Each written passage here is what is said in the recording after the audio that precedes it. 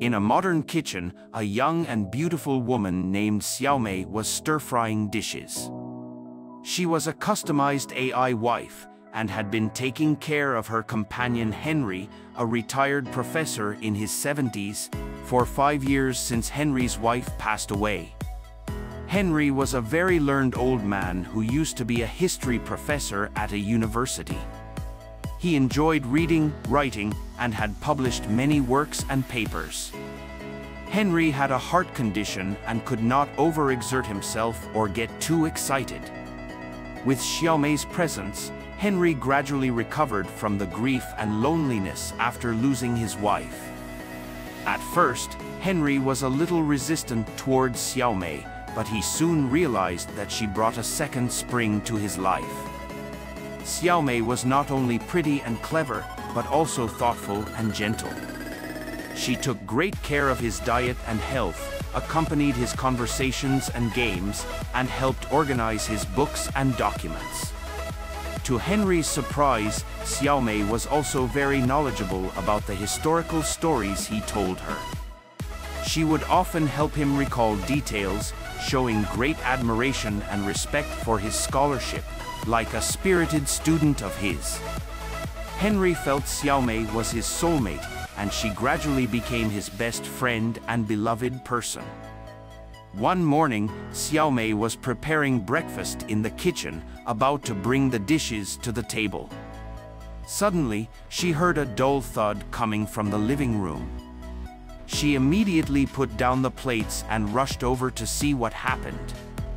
She found Henry had collapsed on the sofa, his face pale and breathing faint. Xiaomei swiftly checked his pulse and blood pressure and realized he was having a heart attack.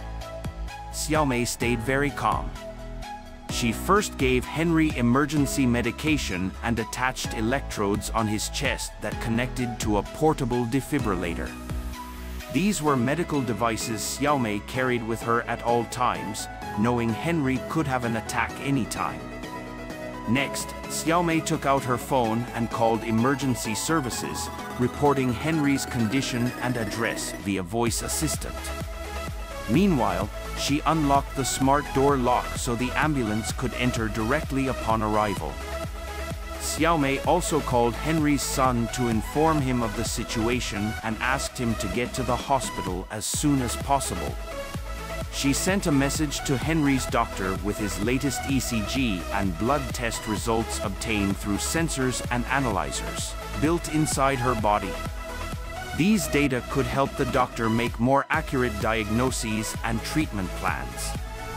After doing all this, Xiaomei returned to Henry's side, gave him simple massages and care to maintain his blood circulation and oxygen supply, soothing him with her gentle voice that the ambulance would arrive soon, and played his favorite music. She also recounted their happy memories together, letting Henry feel her love and care. When the paramedics arrived, Xiaomei helped transfer Henry onto the stretcher and accompanied him in the ambulance. On the way, she held his hand, and Henry felt grateful for Xiaomei's thoughtfulness and care, giving her a faint smile. A few days after Henry was discharged from the hospital, seeing Xiaomei who came to pick him up, he couldn't help but pull her into his arms.